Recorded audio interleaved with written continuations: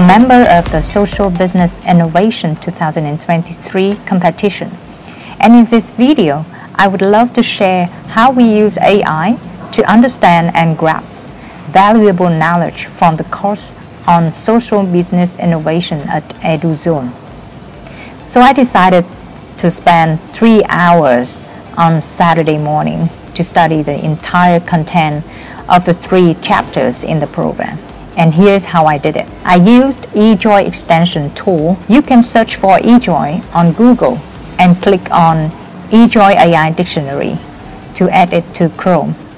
When encountering new vocabularies, I looked up the translation. If I wanted to understand the meaning in more depth, and my English level was intermediate or higher, I could switch to the definition. Alternatively, I could use AI explanation to understand the meaning of the word in the current context. If there are some difficult sentences, even after translation, I would ask AI for explanations.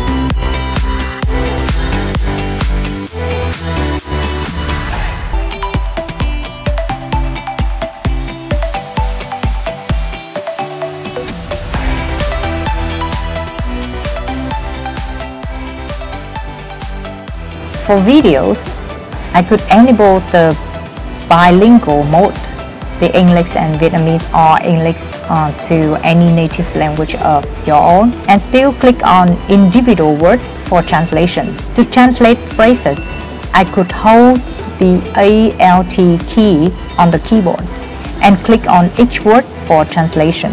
However, since this video was quite long, more than 20 minutes, I wanted to see the summary and the main points I didn't know yet. Clicked on the summarize and then expanded to see the details. If there were some words in images that I couldn't translate by clicking, I used the eJoy capture by right-clicking on the screen. Then I captured the exact area I need to translate. And the result appears as text for normal translation. All these AI features require payment to support the development of AI language models by organizations like OpenAI, Google, Amazon, so there are fees associated with these features. However, we want to build and develop a sustainable impact business model, and we hope that everyone has the opportunity to access and use technology to enhance knowledge and become lifelong learners. That's why we apply a freemium model where everyone can use the limited free features. And if you have a higher demand for users, you can consider paying, especially under the Social Business Innovation 2023 competition. We would like to offer a pro account package to all participating team members so that everyone has an equal opportunity to absorb the valuable knowledge from the social business course.